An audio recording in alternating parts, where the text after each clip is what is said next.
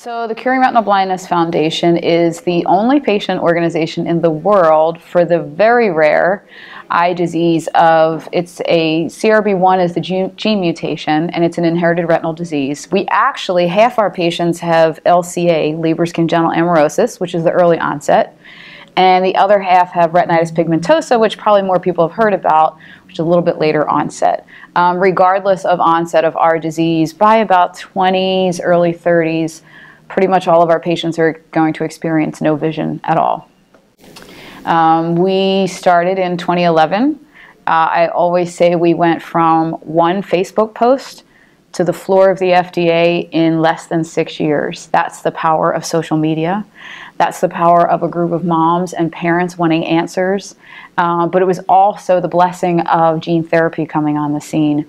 Um, and I say we were on the floor of the FDA because we were there to testify on behalf of Lux, what is now Luxturna. Um, it doesn't treat our disease, but it does treat a sister gene of our disease. So our theory at crb1.org was we're going to champion Luxturna because it's going to open the door for everybody else in the inherited retinal disease community, and it blew the roof off our community. It was really fantastic. So here's what's interesting in the way that this field has exploded. We started eight years ago. I was a third grade teacher and stay at home mom. I didn't know anything about this science. So I went out and built a very small scientific advisory board to see where we wanted to invest. And honestly, there was there was still not enough people interested, so we just kept fundraising and building the bank for when somebody was would come along and that or that we would stumble upon at a conference. And we did. We ended up having some symposiums. We read some stuff going on in the Netherlands for gene therapy, and then brought in some even the folks that discovered the gene. I mean, I got in touch with them to say what is happening with this gene. So we gathered for a few years every year. We've gathered people from around the world to say what's happening in the landscape of retinal research and where can CRB1 and CRB1.org have an impact.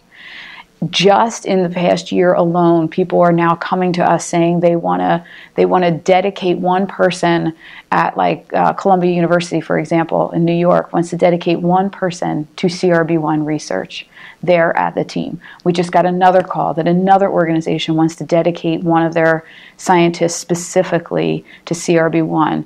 Um, we have a natural history study. We're doing the registry thing a little bit differently because when we started looking at it years ago, it was expensive.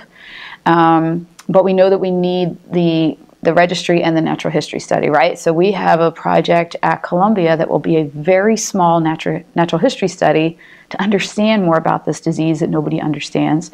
Um, but we're also partnering with CORDS to have the very basic name, phone number, email address to know where all these people are. Because we figure if we can find them all and give them not just the resources for fundraising for us and what research is coming, but also how to how to guide your blind child to thrive while awaiting these treatments, because that's the two parts of our mission, right? So now we've got that registry, the simple one going. The natural history study is going to open with just a very small amount of people so that we can get a, a nice, thorough amount of information in there. Um, we're looking at those two dedicated researchers on teams. There's a team in the Netherlands that should be opening their clinical trial for gene therapy for CRB1 in 2020 not much of a coincidence there, right? 2020. Um, and then we are looking into CRISPR.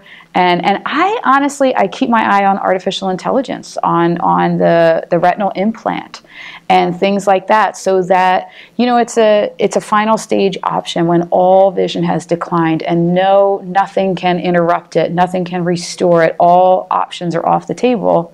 There is the retinal implant that has come very far that um, they're basically replacing the retina with a little computer chip, and that will send the messages to the brain. I mean, that kind of stuff is pretty incredible. Um, that could very well work for kids like mine.